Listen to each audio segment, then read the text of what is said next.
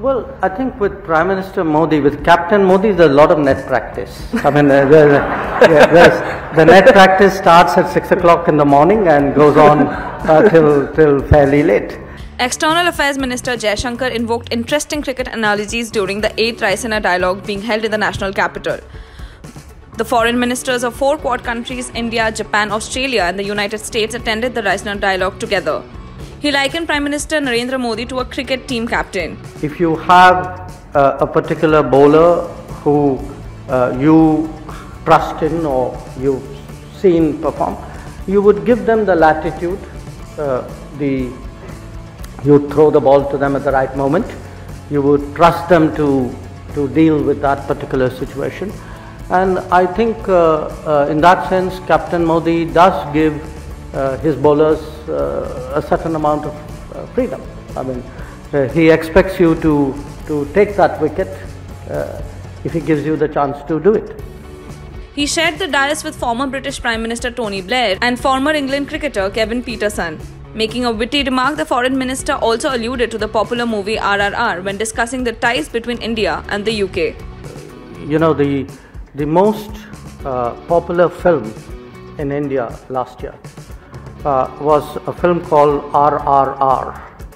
Uh, and this was had to do with the British era and just uh, I'm trying to put it delicately you weren't the nice you weren't the nice guys in the movie now he also touched upon a range of geopolitical and national issues during the interactive sessions in another discussion he shared that quad is not a security grouping targeting any country China has been suspicious about the Quad and feels that the grouping is aimed at containing it. Okay, so uh, we do stand for something. What I would not like to be defined as is standing against, against something or somebody, because that diminishes me. That makes it out as though some other people are the center of the world and I'm only there to be for them or against them. I don't think, uh, actually, I think I'm the center of the world, but that's a different matter. Jaishankar also highlighted three big issues that the Quad and the world need to address. There are three big issues that the world needs to address and the Quad needs to address.